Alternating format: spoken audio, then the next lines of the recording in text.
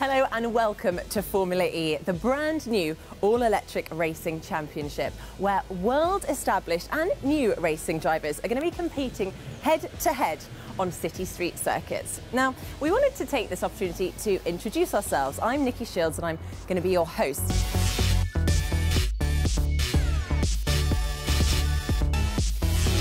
And I'm also going to be joined by Jack Nicholls and Robert Llewellyn, who are going to be here any moment. In fact, I think I can hear them coming now.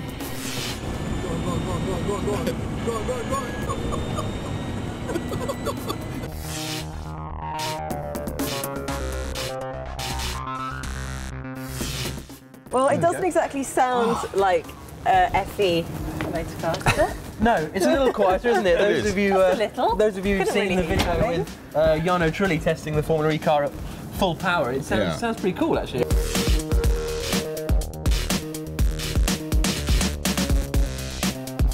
Yeah, it sounds like a jet engine. I mean, you can imagine at the start of a race, 20 cars lined up. It's Yeah. going to be pretty awesome. Because there's so many new cars coming out, there's so many manufacturers making new electric cars, and there's still a lot of people not sure about them.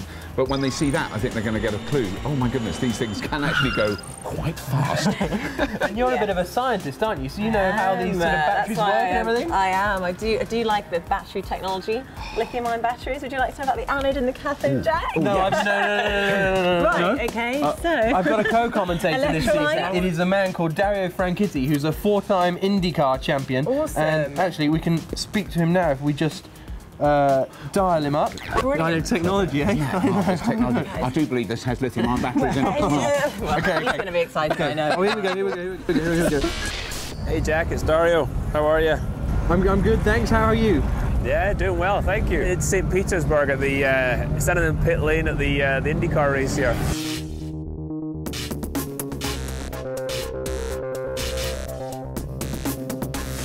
So uh, qualifying's just about to uh, just about to start here in a minute or two.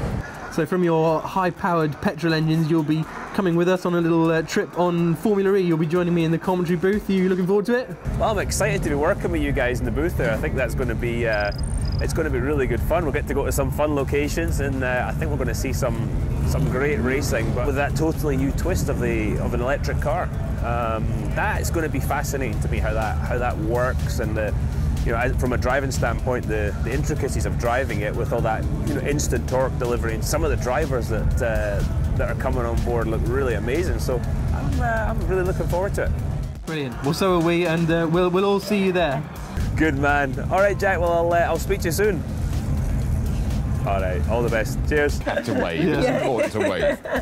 Always. Oh, what an awesome guy. Yeah, he's great. He's well known around the motorsport world for being a really nice chap, and uh, his insight into the racing element of everything is going to be superb to have. Excellent. Well, the season kicks off on the 13th of September in Beijing, but obviously we've got loads more happening before then. We're actually off to France next week to test drive the car again, and uh, we'll be meeting some of the teams too. And there's going to be an app release in August, so make sure you get hold of that because that'll give you all the information you need on the upcoming season. And I'm going to be looking at the actual construction of the cars in the workshops, where they're building them, and the developments that they're finding out. It's just really exciting stuff. Cool. So that's all from us. We'll see you soon.